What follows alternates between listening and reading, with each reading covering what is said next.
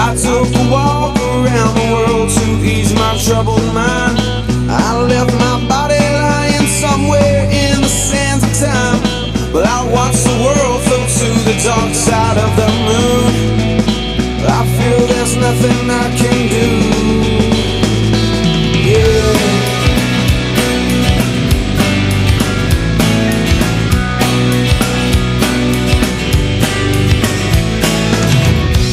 Watched the world float to the dark side of the moon. After all, I knew it had to be something Hey Dawn, how's it going? Great. Good. Welcome to Skydive Spaceland. Tell everybody what we're doing. I'm being an idiot today. I'm gonna jump out of a plane. Yeah, you're not feeling good about this. I'm feeling great. I'm just having a Crush Nebula meltdown. that's that's normal. Cause you I'm know, do you excited, know how though. high we're jumping from? 14,000 foot. 14,000 feet. That's about two and a half miles. Understandably, you're you're scared a little bit. I don't know what I am. I think I'm just really, really excited and yeah. So is this your idea or someone talking into it? It was my idea. Nice. You dragged your boyfriend along with you. My He's over there. Your, your husband. My husband. Nice. Yes. I just want to say I love you to my mom, my dad, my sister, and my brother, and my son Leighton. Mommy loves you. Awesome. Anything else you want to say before we head up? Uh, no, rock on, it? let's go. All right, let's go. I'll see you up there. Superman? If I'm alive and well, will you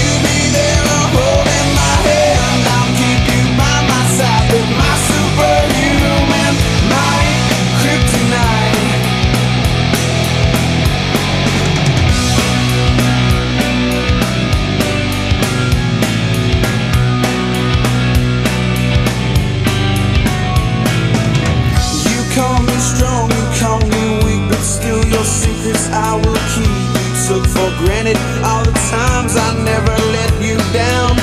You stumbled in and bumped your head. If not for me, then you'd be dead. I picked you up, put you back on. We're almost there.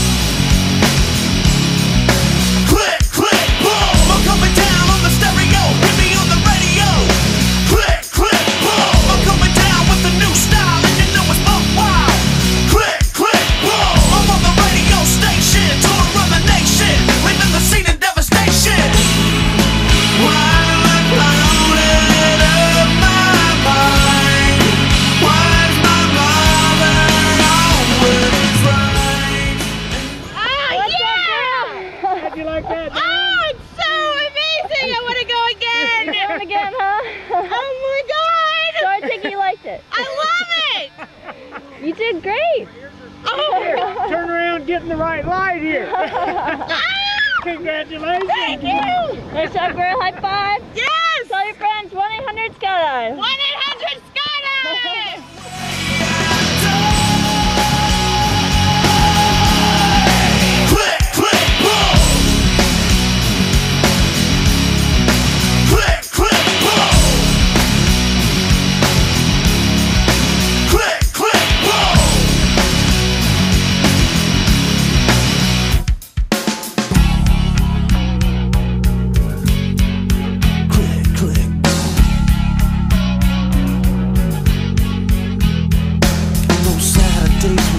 out and play, yo, I was up in my room, I let the stereo blaze. On Saturdays when kids go out and play, I was up in my room, I let the stereo play.